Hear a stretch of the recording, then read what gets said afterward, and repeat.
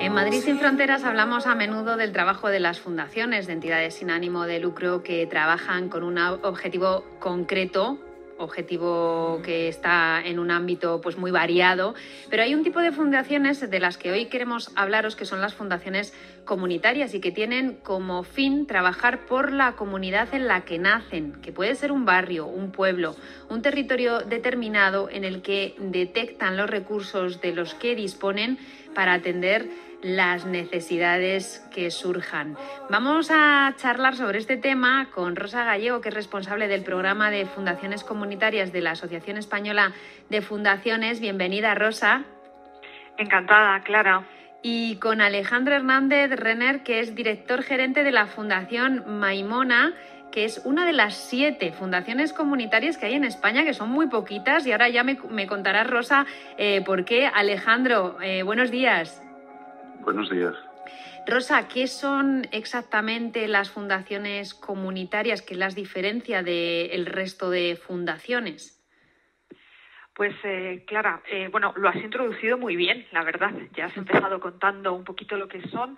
Eh, las fundaciones comunitarias nosotros las definimos como una forma original y eficaz de, de canalizar y de estimular la solidaridad y la filantropía colectivas en territorios. Tú lo has empezado diciendo muy bien, ¿no? En, los lugares donde se constituyen, en localidades, en comarcas, en, barrios, etcétera. Esta, esta definición, ¿no? esto de estimular la solidaridad y la filantropía y canalizarlas de forma original, pues a lo mejor es un poquito, es un poquito abstracto, pero, pero te lo voy a concretar. Eh, las fundaciones comunitarias, como, por empezar, pues trabajan eso, en un territorio, en un lugar, eh, y ahí hay una identificación de las personas porque todos queremos ¿no? contribuir y hacer que el lugar donde vivimos sea mejor. Entonces, el, lema de nuestro programa es eh, ama donde vives, ¿no? Así que hay un componente territorial, son fundaciones que trabajan en un territorio. Eh, ¿Qué otra cosa tienen de especial? Bueno, pues que, como tú has dicho, estudian muy profundamente las oportunidades y las necesidades que existen en esa comunidad en casi todos los sitios hay, activos dormidos, hay recursos, hay conocimiento, hay conexiones, hay energía, hay gente que quiere hacer cosas por, ayudar a sus vecinos. Y las fundaciones comunitarias son un lugar donde todo esto se estimula y, aflora. Mm. Eh, tienen otro tema que es muy interesante y que las diferencia de una, bueno, pues de las otras miles de fundaciones que hacen un trabajo excelente en nuestro país. Y esa diferencia es que no trabajan en un único tema. Eh, las fundaciones comunitarias van a enfocar eh, viendo qué existe en la comunidad, qué necesidades hay y qué es lo que las personas que viven allí consideran como más importante que se tenga que hacer. Y van a trabajar en diferentes áreas que dependerán porque cada comunidad es única, de aquello que es importante para las personas en cada momento del tiempo. Entonces, las fundaciones comunitarias pueden hacer muchas cosas, desde trabajar en temas de educación, emprendimiento, salud, cultura, porque todo al final es un sistema y está relacionado. Mm, claro, porque las fundaciones eh, de las que tenemos, bueno, pues hablamos habitualmente, pues pueden tener, por ejemplo, como foco la cultura. Entonces, pues se dedican a la promoción de la cultura, incluso pues a, dotar de fondos a, carreras artísticas o instituciones, o pueden tener como foco pues la infancia eh, pero aquí estas eh, fundaciones son eh, muy dinámicas, ¿no? con el tiempo, con los tiempos que, vive ese territorio y con, sus necesidades y, con, bueno, pues con todo el movimiento que, hay ¿no? en, ese lugar. Eso es. Además, estas fundaciones comunitarias vienen a colaborar, ¿vale? vienen a sumar vienen a incrementar los recursos disponibles para que, por ejemplo, eh, otras organizaciones que actúan en el territorio eh, dispongan de más recursos. ¿no? Por ejemplo, una fundación comunitaria eh, típicamente lo que, lo que puede hacer es aportar recursos a otras organizaciones no lucrativas que trabajan en el territorio pero esto con una visión estratégica de coordinación entre distintos actores, porque además hay una cosa y es que los, los, problemas a los que se enfrentan nuestras sociedades contemporáneas son ya muy complejos y necesitan de muchos actores para solucionarlos. Es decir, casi nada se resuelve ya solo por una administración pública o por una empresa o por una entidad sin fin de lucro. Y precisamente una fundación comunitaria lo que permite es eh, tener lugares de, de encuentro de los distintos agentes que trabajan en una comunidad para conjuntamente abordar esos, esos problemas. Bueno, todo esto le vamos a pedir que nos lo ilustre Alejandro, que tiene esa experiencia eh, en primera persona con la Fundación Maimona, que es eh, que pertenece a un, territorio, como hemos dicho, concreto, que es Los Santos de Maimona, que es una localidad de, Badajoz. Eh, solo una última pregunta antes de que Alejandro nos cuente en qué se concreta todo esto, Rosa. ¿Qué diferencia hay? Porque sí que conocemos pues, muchas asociaciones vecinales, muchas asociaciones juveniles, muchas asociaciones eh, bueno, pues eh, culturales que hay en, distintos eh, barrios, mm, pueblos, etcétera, que hacen un trabajo bueno, similar, ¿no? Y, que de hecho algunas de las fundaciones comunitarias creo que antes han sido ¿no? un tipo de asociación, una figura de este tipo. ¿Qué diferencia hay entre una fundación comunitaria y una asociación vecinal, por ejemplo? Bueno, pues eh, hay, hay, varias. Eh, una es quizás eh, la, fundación es, una, es un instrumento, es una herramienta que tiene una fuerte proyección hacia el futuro, tiene una capacidad de continuidad muy grande una fundación es una institución que puede permanecer durante, no te voy a decir décadas, te voy a decir durante siglos, ¿vale? Es una, una institución, como, dije, como si dijéramos, una inversión a medio y largo plazo, que va a permanecer ahí enfocada siempre en una misión, que va a ser mejorar la vida de las personas colaborando con otros. Ese, ese punto de lugar de intersección con otros agentes y sobre todo de incremento y fomento de la solidaridad local es algo que las hace muy diferentes de las organizaciones que normalmente trabajan muy apegadas al terreno en un tema concreto. Eh, en, este sentido, la Fundación Comunitaria, eh, bueno, pues es una, una, digamos, herramienta evolucionada que hemos visto que en otros países de nuestro entorno eh, bueno, pues también está surgiendo. Hay fundaciones comunitarias en Reino Unido, en Alemania, en Italia, en Rumanía. De hecho, en Italia eh, hay 40, en, Alemania hay casi 400, más de 400 y en España solamente tenemos 7. bueno, nos falta un poquito.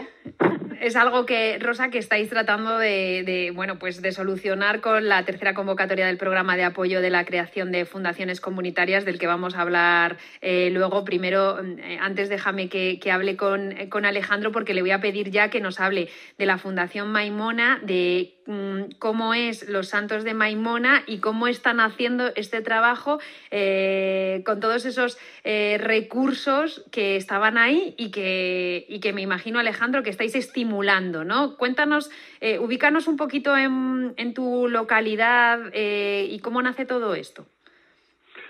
Pues nace del impulso de una serie de personas locales y de la, la ayuda muy comprometida de un filántropo que es Diego Hidalgo cuyo padre había nacido aquí, en el sur de Extremadura, en una zona muy rica de tipo agrícola y de tipo industrial. O sea, hay dos dimensiones, tanto la industrial como la agrícola, que, son destacables en esta, en esta zona sur.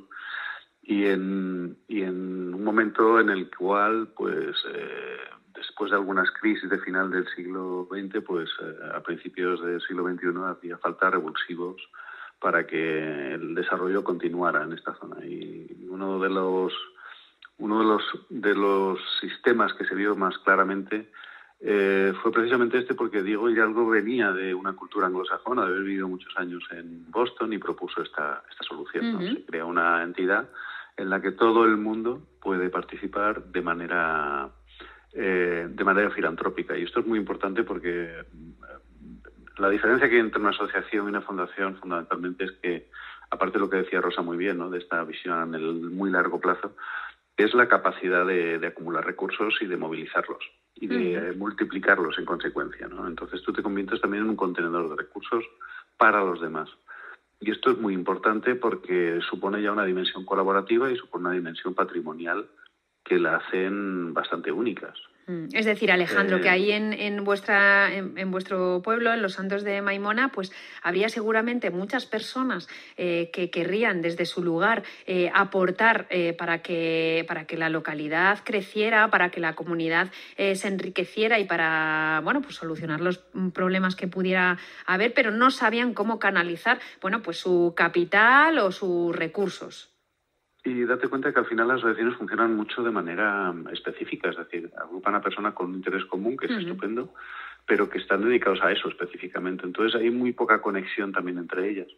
Es difícil ver proyectos conjuntos. Eh, somos de una cultura pues un poco latina, ¿no? En este sentido de nosotros lo nuestro y vamos a hacerlo y lo vamos a hacer y lo hacemos, pero pero nos cuesta bastante ver así en, en, en diagonal y en transversal. Entonces eh, primero, sitio de encuentro para que actives ideas junto con otras cabezas, cosa muy interesante. Segundo, sitio de sumar recursos. Oye, pues si juntamos los tuyos con los míos podemos hacer bastante más cosas. Eh, y luego, tercero sitio también, pues nosotros nos lo planteamos desde el principio mm, como una herramienta de innovación y emprendimiento. Es decir, que aquí, aparte de promover la filantropía, tenemos otras dos patas muy importantes, que es promover a las personas emprendedoras y promover la innovación, tanto empresarial como social. Y eso también es un valor añadido para el territorio. Es decir, cada una de las fundaciones comunitarias adopta una estrategia, digamos, más central en, en, esta idea de aportarle al territorio lo que del territorio eh, se nota que no está haciendo otro. O sea, nunca, nunca hacemos nada redundante, sino que nos posicionamos en aquellos sitios donde podemos aportar una dimensión especial que le da un valor muy concreto. ¿no? Alejandro, cuéntame algo que mm, específico que hayáis desarrollado eh, de lo que estéis bueno pues orgullosos en la fundación para que nuestros oyentes puedan saber eh, pues cómo nace crece y, se consolida pues eh, un, un, proyecto dentro de una fundación pues mira muy rápidamente nosotros claro te puedes imaginar que en 22 años de funcionamiento pues llevamos eh, en torno a mil proyectos desarrollados. Eh, jamás los hacemos solos y normalmente atendemos a gente que viene con una iniciativa. Entonces, mm, como botones de muestra. Por ejemplo, somos contenedores de una banca ética local que se creó en un momento dado. En los últimos años ha crecido la exclusión financiera. Sabes que los bancos han puesto más duros todavía de lo que eran. Y esto, que era una cuestión eh, desconocida en España en los años 90 prácticamente, pues se ha generalizado bastante. Es decir, que tenemos un montón de gente en exclusión financiera y ha habido un grupo de personas que han visto la posibilidad de crear una banca ética con sus propios ahorros. La manera de hacerlo pues ha sido crear un fondo dentro de la fundación, porque eso tiene unas ventajas administrativas, fiscales y, y operativas tremendas, ¿no? Entonces nosotros estamos encantados de acoger este tipo de proyectos que tienen un calado estrictamente social. Estos fondos, lógicamente, lo administran los propios voluntarios y, y, esto es una estructura dentro de la estructura, ¿no? Eh, a veces se dan microcréditos a, partir de, microcréditos sociales eh, para personas que tienen un momento de exclusión puntual debido por una circunstancia pues pues de todo tipo que te puedas imaginar no desde una señora que se le ha quemado la cocina eh, hasta una autónoma que se la estropea el coche y realmente es que no están en condiciones de abordar las reparaciones para seguir con su vida normal. Mm. Y que un este banco no les da ese, dinero y recurren a, a, esta banca ética y esto está funcionando bien. Tiene que acabar en usura y está funcionando mm. estupendamente porque además eh, lo que hemos hecho, y aquí sí que se nota el hecho de que haya una fundación detrás, de tipo comunitario mm, es que nosotros tenemos muy buenas relaciones a nivel nacional e internacional con entidades especializadas. Hemos traído a gente para formarnos específicamente en microcréditos. Hemos adoptado el modelo estándar de microcréditos eh, a través de una relación que tenemos también con una entidad especializada que es Nanticlub en Madrid. O sea que daos cuenta de que en este sentido nosotros complementamos el impulso de la persona con un know-how y con una transferencia de conocimiento potente.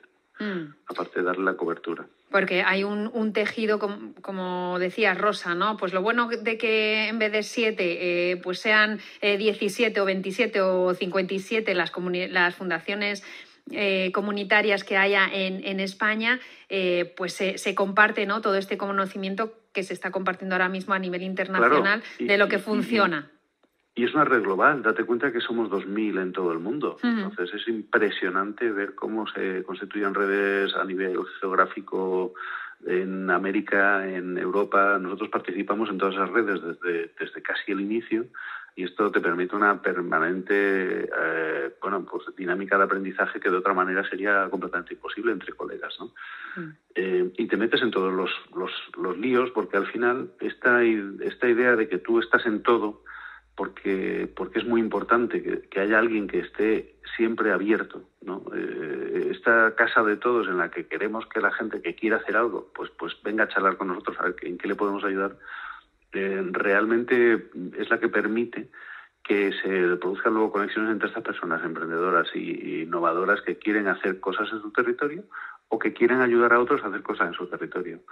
Mm. Bueno, me quedo con, muchas ganas de conocer todos, todos los proyectos que habéis desarrollado, Alejandro, con, esos 22 años de, experiencia y, me imagino que muy satisfechos del trabajo hecho. Este ejemplo de la banca ética es, muy significativo. No, nos queda mucho más tiempo, pero para quien quiera eh, también eh, investigar un poquito más, pues está ahí está la información, la Fundación Maimona, un ejemplo de los siete y insistimos, solo siete, pero Rosa, ¿cómo mm, queréis eh, expandir esta, esta idea de tan, tan exitosa ¿no? y tan beneficiosa para las comunidades a través de vuestra convocatoria de, este programa de apoyo a, la creación de fundaciones comunitarias? ¿En qué consiste? Pues mira, Clara, es muy sencillo. Eh, nosotros en la Asociación Española de Fundaciones eh, estamos en disposición de ayudar y de guiar a las personas que tengan un interés por constituir una fundación comunitaria. Em, es muy fácil, eh, abrimos dos convocatorias al año, ahora mismo tenemos una abierta que lo estará hasta el día 31 de, 31 de marzo. Toda la información está en nuestra página web, que es muy sencilla de encontrar, que es www.fundaciones.org, y ahí hay un espacio específico para fundaciones comunitarias. Las personas que tengan una idea eh, en la que tengan muy claro que quieren trabajar por su territorio, que lo quieren hacer de manera colaborativa, que van a involucrar a otros, que lo quieren hacer en el largo plazo, en el medio y en el largo plazo, y que, y que tienen una mirada abierta a, no solamente ver las necesidades, sino también a ver las oportunidades, pues esas personas pueden entrar en nuestra web, leer la convocatoria y ver que les pedimos muy poquito, les pedimos que nos envíen información sobre quiénes son, sobre cuál es su idea, sobre qué es lo que querrían hacer en, en, su comunidad y un poquito más de información para saber quiénes son y entran en un proceso de selección. Una comisión experta con expertos españoles y de otros países que saben muchísimo de fundaciones comunitarias revisan estos, eh, estas propuestas para elegir a un número determinado de ellas e incorporarles a un programa de formación. Mm. El programa da apoyo en teoría, da apoyo en práctica, eh, ayudamos a bueno pues a refinar el concepto, les ayudamos con técnicas de comunicación, captación de fondos, escucha comunitaria, liderazgo participativo, bueno, un montón de cosas que, que hacen que una fundación comunitaria sea una entidad muy profesionalizada ¿vale? Mm. Eh, que inicialmente puede estar, por supuesto, eh, solamente impulsada por personas voluntarias. Las cosas pueden empezar pequeñitas o grandes, eso va a depender de mm. cada lugar, pero lo que sí que queremos claramente es que esté profesionalizada. Y de todo este tiempo que transcurre con nosotros, eh, los grupos llega un momento en el que tienen que dar el paso adelante y constituir legalmente la fundación. Y cuando eso sucede, vamos a seguir apoyándoles, les daremos un cierto apoyo económico en sus dos primeros años de funcionamiento y pasan a formar parte de una red en la que, como ya se ha puesto aquí de manifiesto, se puede aprender de otros que ya lo están haciendo en España y en otros lugares. Eh, tenemos ahora mismo eh, en torno a cinco grupos en distintas comunidades autónomas que ya están pasando por el programa y que probablemente en 2022 van a acabar constituyendo la fundación. Y ahora hasta el 31 de marzo estamos buscando bueno pues esas otras personas comprometidas y entusiastas que quieran mejorar el lugar donde viven y que quieran que les ayudemos a hacerlo. Bueno, pues es una oportunidad fantástica y una solución en las fundaciones comunitarias pues eh, magnífica para canalizar todos los recursos, toda la inteligencia eh, colectiva eh, y, mejorar el lugar donde, donde vives o, el, lugar donde, donde has nacido. Rosa Gallego, responsable del programa de fundaciones comunitarias de Asociación Española de Fundaciones, muchísimas gracias por contarnos qué es una fundación comunitaria. Recordamos fundaciones.org, esa es la web, ¿verdad? Para la convocatoria. Correcto. Y Alejandro Hernández director gerente de la Fundación Maimona. Enhorabuena por estos 22 años de trabajo y muchas gracias por contarnos todo lo que habéis hecho en vuestra fundación comunitaria. Un abrazo.